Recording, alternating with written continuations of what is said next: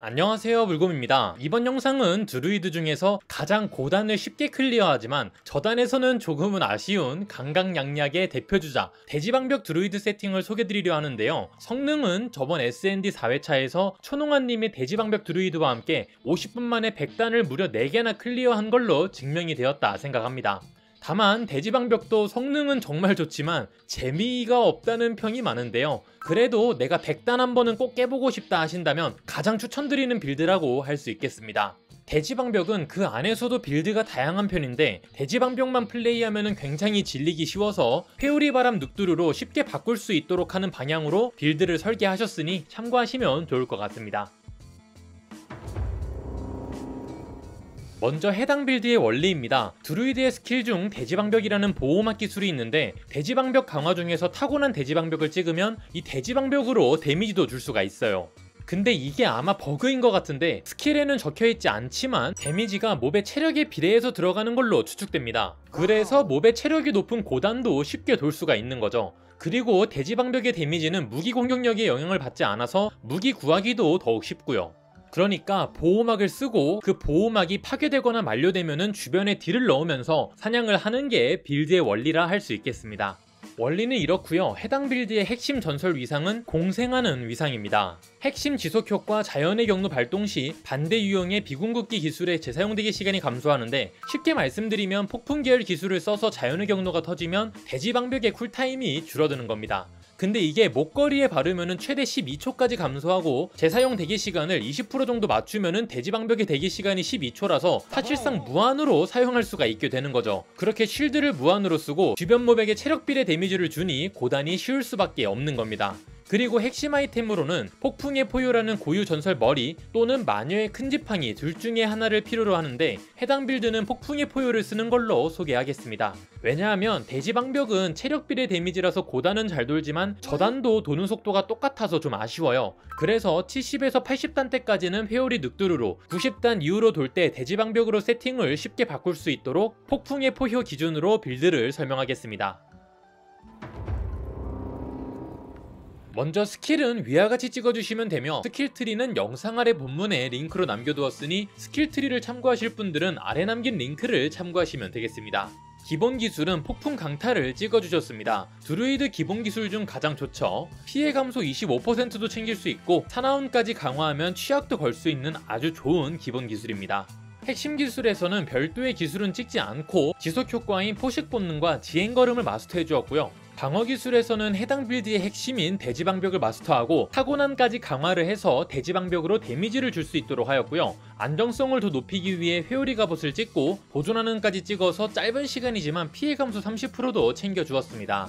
지속 효과에서는 수문장을 마스터해서 방어 기술 사용 시 6초간 피해 감소 15%를 챙겨 안정성을 더욱 높여주었고요. 진노 기술에서는 싹쓸바람을 찍고 강화된 싹쓸바람으로 25% 감소 효과, 야생의 싹쓸바람으로 피해 감소를 또 20% 챙겨주었고 독성 발톱을 하나 찍어서 극대화 피해로 적중 시 모백에 중독이 걸리게 해서 중독된 적에게 받는 피해 감소도 유업이 되고 옆에 있는 독사를 찍어 중독된 적이 추가로 30%의 극대화 피해를 주게 해 데미지도 높여주었습니다. 궁극기에서는 석화를 최고에까지 강화했는데요. 광역으로 몹을 기절시켜 몹이 많아도 한 번에 터지지 않게 안정성을 높여주는 역 역할을 합니다. 마지막 핵심 지속 효과에서는 자연의 경로를 찍어주었는데요. 빌드의 원리에서 설명했다시피 공생하는 전설 위상 덕분에 쿨타임을 최대 12초까지 줄여 무한으로 대지방벽을 쓰게 해주는 핵심 지속 효과라 볼 수 있겠습니다.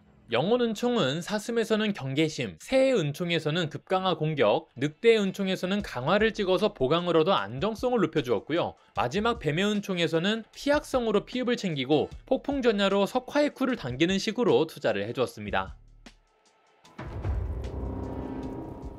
자 다음은 정복자 보드인데요. 해당 정복자 보드는 이전에 업로드했던 회오리 바람 늑드루와 똑같습니다. 대지방벽 드루이드에게 더욱 효율적인 정복자 보드가 있을 수 있으나 회오리 바람 늑드루 스왑을 편하게 하기 위해 똑같이 사용하시는데 해당 정복자 보드로도 100단은 아주 쉽게 깨니까 성능 걱정은 안 하셔도 되고요. 이미 회오리 바람 늑드루를 보신 분들은 해당 챕터를 스킵하시면 되겠습니다. 정복자 보드도 본문 아래 링크를 남겨두었으니 하나하나 자세히 확인하실 분들은 아래 링크를 참고해주세요 첫 번째 보드는 이렇게 찍어주셨고요.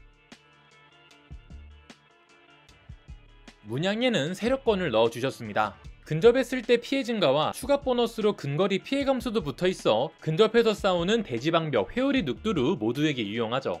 두 번째 보드는 대학살의 욕망 보드로 보드는 이렇게 찍어주셨고요. 문양은 늑대 인간을 넣어서 데미지와 보너스로 안정성까지 모두 챙겨주셨습니다. 세 번째 보드는 고조된 아기 보드로 보드는 이렇게 찍어주셨고요. 문양은 송곳니와 발톱으로 마법노드 능력치 추가도 좋지만 보너스로 12% 피해 증가를 곱연산으로 챙길 수 있어 데미지 상승에 좋습니다.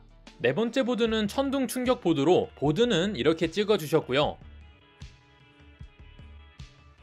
문양은 천지개벽을 넣어주셨습니다. 역시나 마법노드 능력치도 좋지만 추가 보너스로 취약적에게 주는 피해 10% 증가로 곱연산이라 아주 쏠쏠하죠. 다섯 번째 보드는 죄어오는 촉수 보드로 보드는 이렇게 찍어주셨고요. 문양은 착취를 넣어주셨습니다. 적들에게 쉽게 취약을 걸 수 있으며 취약 데미지도 높여주는 아주 좋은 문양이죠.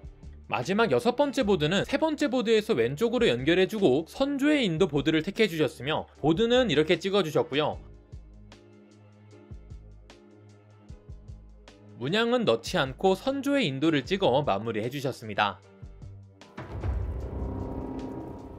마지막으로 아이템 세팅입니다. 아이템은 부위별로 하나하나 소개하도록 할게요. 머리는 고유 아이템인 폭풍의 포효입니다. 폭풍 기술이 늑대인간 기술이 되어서 늑대인간 상태에서 폭풍 기술을 쓸 수 있게 되는 거죠. 폭풍의 포효를 쓰지 않는 대지방벽 빌드도 있지만 저희는 회오리 늑드루로 쉽게 바꿀 수 있도록 하기 위해서 해당 뚜껑을 택해 주었고요. 만약 다른 뚜껑을 쓰신다면 스킬트리나 세부 사항이 달라질 수 있기 때문에 다른 영상을 통해 빌드를 확인하셔야 합니다.